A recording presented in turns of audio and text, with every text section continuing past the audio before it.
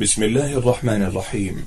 المكتبة الصوتية لمعالي الشيخ الدكتور صالح بن فوزان الفوزان. حلقات تبث في إذاعة القرآن الكريم. دروس في الحج. الدرس الأول. فضل الحج.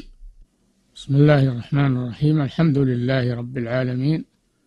صلى الله وسلم على نبينا محمد وعلى آله وأصحابه أجمعين.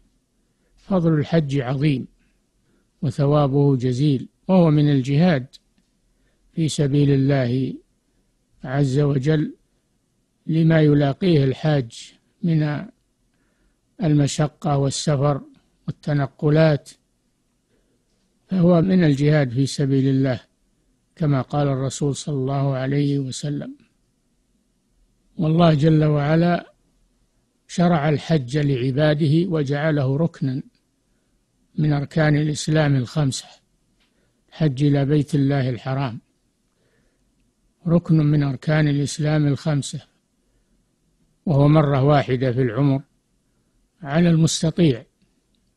وما زاد عن المرة الواحدة فهو نافلة من أفضل النوافل والقربات والطاعات. فالحج فضله عظيم. إلى بيت الله الحرام يكفر الله به الذنوب ويغفر به الخطايا ويعظم به الأجور والحج كما هو معلوم هو الركن الخامس من أركان الإسلام. قوله صلى الله عليه وسلم الإسلام أن تشهد أن لا إله إلا الله وأن محمدا رسول الله وتقيم الصلاة وتؤتي الزكاة وتصوم رمضان وتحج البيت إن استطعت إليه سبيلا. ومن رحمة الله أنه لم يوجب الحج إلا على المستطيع.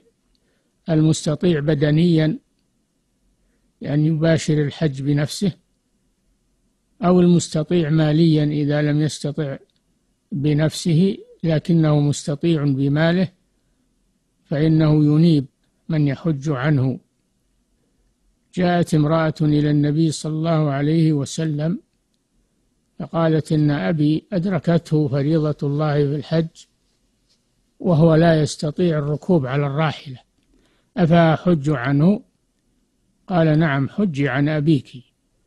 الحج تدخله النيابة لأنه عمل مكون من بدني ومن مالي فتدخله النيابة كما في هذا الحديث.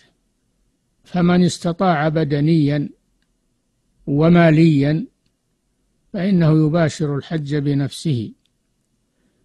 ومن استطاع الحج ماليا ولم يستطعه بدنيا فإنه ينيب من يحج عنه حجة الإسلام مرة واحدة في العمر وما زاد فهو تطوع وهو من أفضل أنواع التطوع.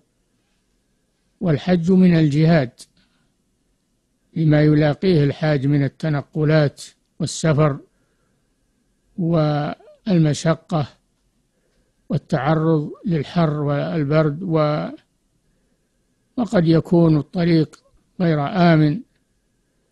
فالحاج لا شك أنه يجاهد في سبيل الله فإذا صبر واحتسب كتب الله له أجر المجاهد. واليوم ولله الحمد تيسرت السبل إلى الحج وانبسط الأمن على بلاد الحرمين الشريفين.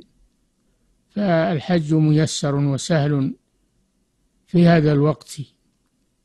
فينبغي للمسلم الذي لم يؤدي فريضة الحج أن يبادر.